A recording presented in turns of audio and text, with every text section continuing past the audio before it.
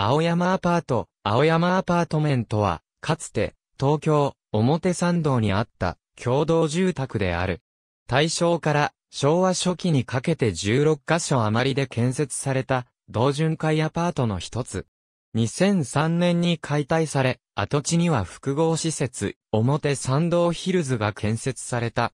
財団法人、同巡会によって建設され、1926年に第1期、翌1927年に第2期が竣工した。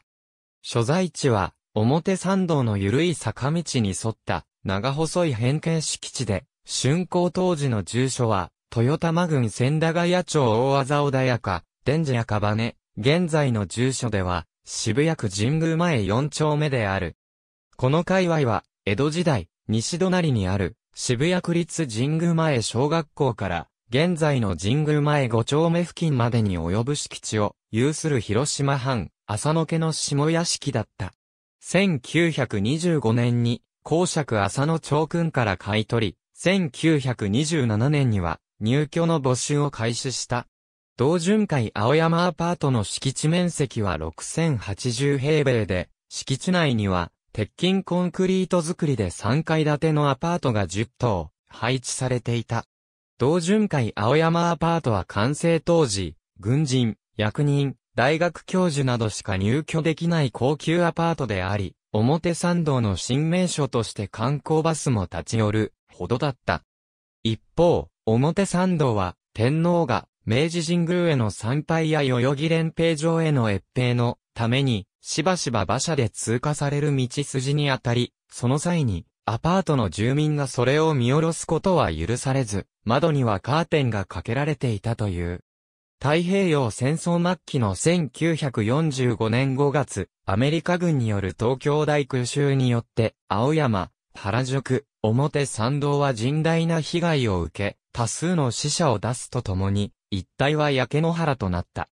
しかし、耐震耐火構造で建設されていた、同巡会青山アパートは、この際にも焼け残り、焼け出された人々の住居として貸し出され、敷地内の広場にあった井戸も、生活用水として、アパート住民以外にも開放された。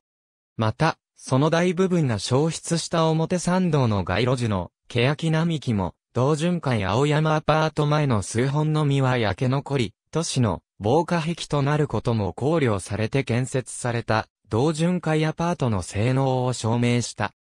終戦後、同巡会アパートはそれまでの所有、管理者だった、同巡会から東京都に引き継がれ、さらに1950年になると、各住民に払い下げられた。